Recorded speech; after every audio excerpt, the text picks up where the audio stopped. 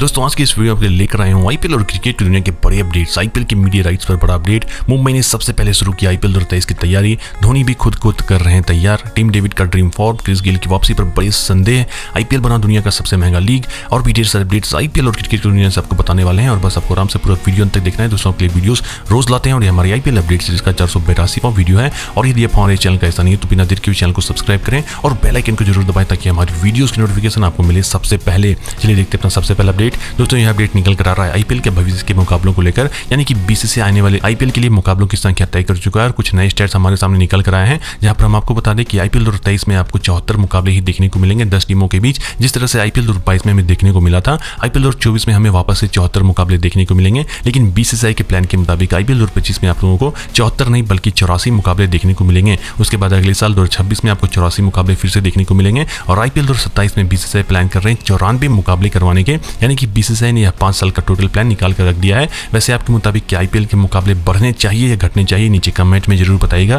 चलिए देखते हैं अपना दूसरा बड़ा अपडेट दोस्तों ये अपडेट निकल कर आ रहा है मुंबई इंडियंस की तरफ़ से। मुंबई इंडियंस ने आईपीएल दो के लिए अपने स्तर पर तैयारी करना शुरू कर दिया है। सभी दसों टीमों में से सबसे पहले इसी टीम ने तैयारी शुरू करनी शुरू की है। ऐसा इसलिए क्योंकि मुंबई इंडियंस की टीम आईपीएल दो में पॉइंट टेबल में सबसे लास्ट में खत्म किए हैं और सबसे खराब प्रदर्शन किए हैं सभी टीमों के मुकाबले और उसी में सुधार करने के लिए इस टीम ने आईपीएल की समाप्ति के बाद भारत में चल रहे रणजी ट्रॉफी में अपने चार टैलेंट स्काउट को भेजा है। अलग अलग शहरों में अपने टैलेंट स्काउट भेजे हैं। रणजी ट्रॉफी के लिए और कल चल रहा बैंगलोर के मुकाबले में मुंबई इंडियंस के स्काउट देखने गए थे और इस तरह से डोमेस्टिक क्रिकेट में मुंबई इंडियंस की टीम अपनी नज़र बनाए रखे हुए हैं और इस तरीके से वह प्लान कर रहे हैं कि मिनी ऑक्शन में वह कौन से खिलाड़ी को खरीदेंगे और उस तरीके से वह स्ट्रेटेजी बनाएँगे। चलिए देखते हैं अपना तीसरा बड़ा अपडेट। दोस्तों, यह अपडेट निकल कर आ रहा है महेंद्र सिंह धोनी की तरफ़ से। महेंद्र सिंह धोनी आईपीएल की समाप्ति के बाद अपने घर जाकर अब जिम में ट्रेनिंग करना शुरू कर दिए हैं, जिसकी तस्वीर आप देख सकते हैं, जो काफ़ी ज़्यादा वायरल हो रहा है। और जैसा कि आपको पता है कि आईपीएल दो जो अभी से आठ से दस महीने दूर है, उसमें वह खेलेंगे कप्तान के तौर पर। और उसकी तैयारी वह अभी से ही कर रहे हैं। और उस दौरान वैसे भी वह किसी भी तरह का कोई क्रिकेट खेलते नहीं है। तो ऐसे में अपने आप को फिट रखने के लिए एम एस धोनी ने अपनी ट्रेनिंग शुरू कर दी है। और धोनी के कुछ फ़ोटोज़ और वीडियो हमने अपने टेलीग्राम चैनल पर डाला हुआ है तो वहाँ पर भी जाकर आप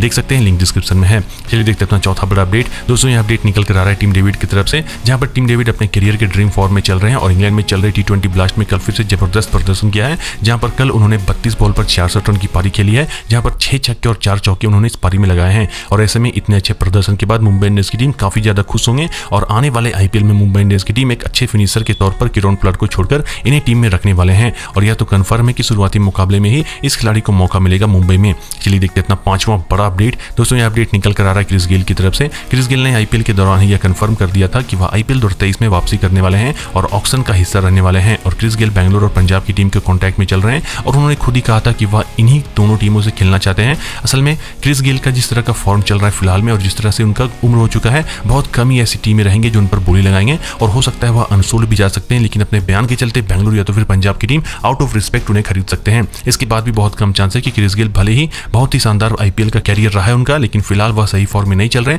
जिसकी वजह से प्लेइंग इलेवन में शायद ही उन्हें मौका मिल पाएगा। जैसे कि हम पिछले दो तीन साल से देख भी रहे हैं तो भले ही क्रिस गेल वापसी कर रहे हैं फैंस में बहुत ज़्यादा उत्सुकता है, लेकिन आईपीएल की टीम उनको लेकर काफ़ी ठंडे हैं। चलिए देखते इतना छठा बड़ा अपडेट दोस्तों, ये अपडेट निकल कर आ रहा है आईपीएल की मीडिया राइट्स के ऑप्शन को लेकर, और यह जुड़ा हुआ है सोनी और जी नेटवर्क से, जहाँ पर आपको बता दें कि सोनी नेटवर्क और जी नेटवर्क आपस में कोलेबरेट कर चुके हैं ताकि वह आईपीएल के मीडिया राइट में हिस्सा ले सकें। अगर वह इंडिविजुअली जाते तो वह इतना ज़्यादा पैसा नहीं लगा पाते, या तो फिर यह रेस से बाहर हो जाते। लेकिन अब क्योंकि यह दोनों साथ में आ चुके हैं तो इनके बीच का जो डील होता है, वह भी हमारे सामने निकल कर आ चुका है। और यह बताया जा रहा है कि जो सोनी नेटवर्क है, वह आपको टीवी राइट्स के ऊपर बीडिंग करते हुए दिखने वाले हैं, और जो जी नेटवर्क है, वह सिर्फ़ डिजिटल राइट्स पर बीड करते हुए नज़र आएँगे। तो यह काफ़ी ज़्यादा इन्होंने दिमाग लगाकर यह चीज़ किया है। यानी कि यह दोनों यदि टीवी राइट्स पर एक साथ आते तो जो दूसरा डिपार्टमेंट है, वह हो सकता है उसे छूट जाता उसके ऊपर ज़्यादा पैसा इन्वेस्ट नहीं कर पाते। चलिए देखते हैं सातवां बड़ा अपडेट दोस्तों, यह अपडेट निकल कर आ रहा है भारत और साउथ अफ्रीका के बीच चल रहे मुकाबले को लेकर। जहाँ पर पहला मुकाबला भारतीय टीम हार गए और उस हार में साउथ अफ्रीका के राशिवेंद्र डूसन का बड़ा ही महत्वपूर्ण योगदान रहा, जहाँ पर उन्होंने डेविड मिलर के साथ बेहतरीन साझेदारी की और छियालीस बॉल पर पचहत्तर रन बनाए, जिसमें सात चौके और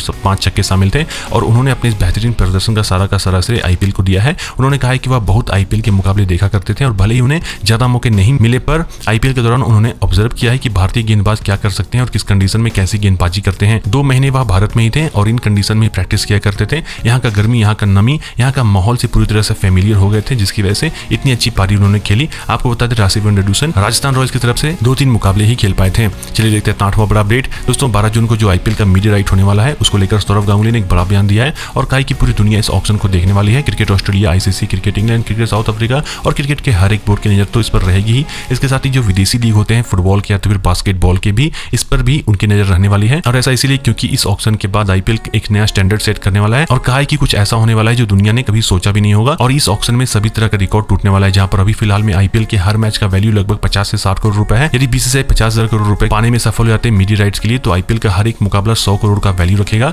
और इससे यह दुनिया का दूसरा सबसे महँगा लीग बन जाएगा। फ़िलहाल में आईपीएल चौथे नंबर पर आता है और सबसे महँगा लीग है एनएफएल जो बास्केटबॉल का होता है। उसके हर एक मैच की कीमत 120 करोड़ रुपए होती है और इस ऑक्शन को लाइव हम अपने टेलीग्राम चैनल पर टेलीकास्ट करेंगे और सब कुछ आपको पल पल की अपडेट देते रहेंगे। तो तक आपने मेरा टेलीग्राम चैनल नहीं ज्वाइन किया तो जल्दी से ज्वाइन कर लें। लिंक डिस्क्रिप्शन में है। तो ऐसे आज के क्रिकेट और आईपीएल को लेकर कुछ बड़े अपडेट्स इसके साथ आईपीएल खत्म हो चुका है, लेकिन आपको हम क्रिकेट से जुड़े हुए वीडियो देते रहेंगे। तो हमारे साथ बने रहे। मिलते हैं अपनी एक इंटरेस्टिंग वीडियो में। तब तक के लिए धन्यवाद।